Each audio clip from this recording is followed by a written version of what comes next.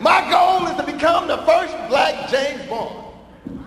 Oh yeah, I think it's time. I think Hollywood's ready for it, you know. But you know Hollywood are good at all. You know they're good for stereotyping the whole thing, you know. Oh yeah, they have me dressed up in my tuxedo, right? I'd have to go into the casino, right? Step up to the Uno table, you know. they had a pretty girl sitting there, right? I'd have to look at her like my cigarette. I say to him, my script would read like this. Bond, bitch. James Bond, ho, you know me, 004. You know me. I like Bond because Bond had all the women, didn't he? Well, Bond had pussy galore. Bond had Octopussy.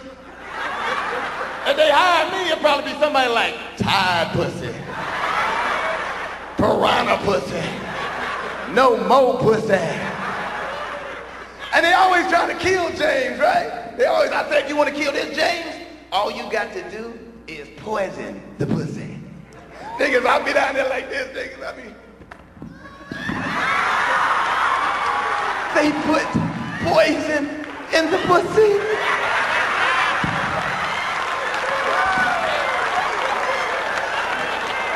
I'll be one dead James, nigga. One dead James.